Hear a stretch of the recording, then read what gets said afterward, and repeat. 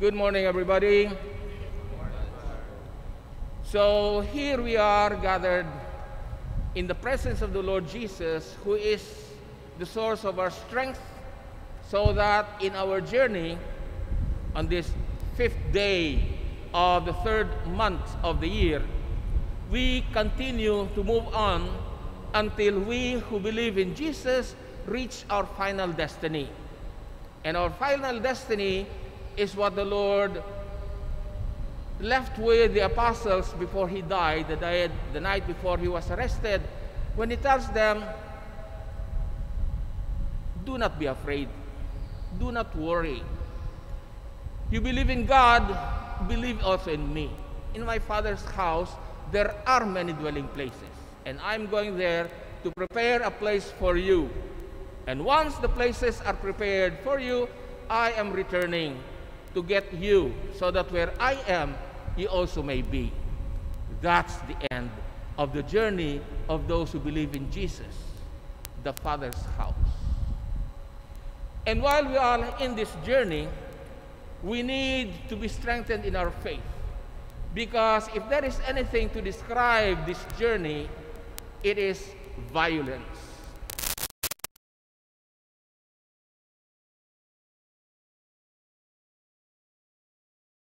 From the newspapers, violence that we don't hear or read from papers because they are not reported. But there is violence. And the readings today speak of that. In our journey, those who have gone ahead of us, the brothers of Joseph, Reuben, has left us, have left us their message and experience. In the first reading, the brothers, because of their jealousy and envy towards their youngest brother Joseph, wanted to eliminate him. They wanted to kill him. But Reuben, the eldest, intervened for the sake of their father, who loved Joseph very much. The second reading speaks of violence. Jesus, in order to point out the irresponsibility and the lack of commitment of the Pharisees, brings out this story that begins wonderfully because God has made a garden so beautiful and so to it that everything was set up in order that he could lease it out to other tenants. But then, not to repeat the story of the gospel, violently, even the son, the heir of the landowner, was killed.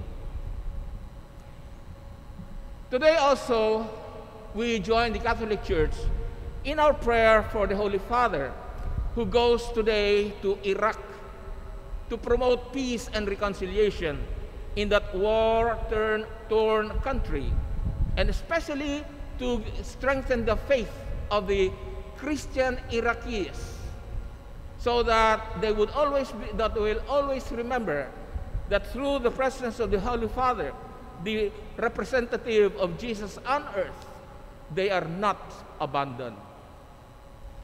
What are these readings telling us today?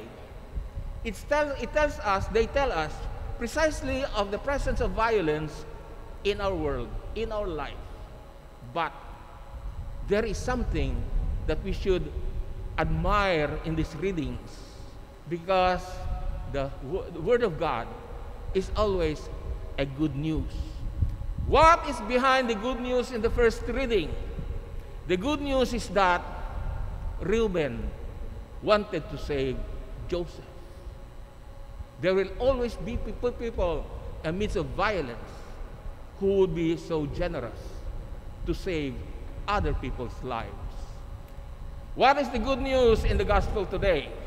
The good news from the perspective and experience of the early Christian community tells us that Jesus is that stone rejected and yet becomes the cornerstone of the community. And in the good in the news of the Holy Father's visit to Iraq, the good news is himself telling those who are who are suffering in that country in spite of the risk that he is facing Do not be afraid. Be strengthened in your faith. And the good news today is the first Friday. We are being reminded that amidst the violence, the celebration of the first Friday of the Sacred Heart of Jesus reminds us that there is a God who loves us so much that we see that reality in the suffering and death and the rising of the Lord Jesus from the dead to console us, to comfort us. This brings us precisely to the presence of the Lord, whose Sacred Heart we remember on the first Friday of the month in the Eucharist. He is with us, He accompanies us, He walks with us. And that is precisely the better good news. Jesus does not abandon His people. Jesus guides us. Jesus leads us until we all who believe in Jesus reach our final destiny, the Father's house. And in the meantime, because He knows and we know that our journey on this fifth day of the third month is dangerous and full of risk and peril, He tells us,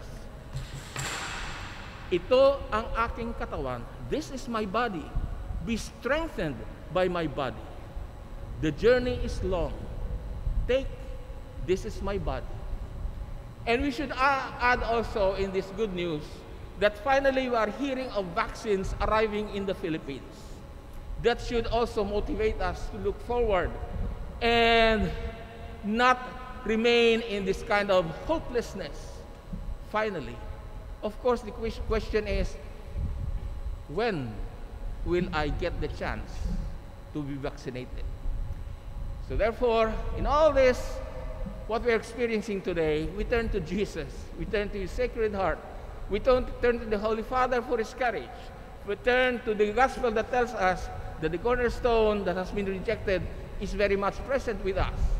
And we also turn to the experience of the brothers of Joseph because there will always be a Reuben who will save us.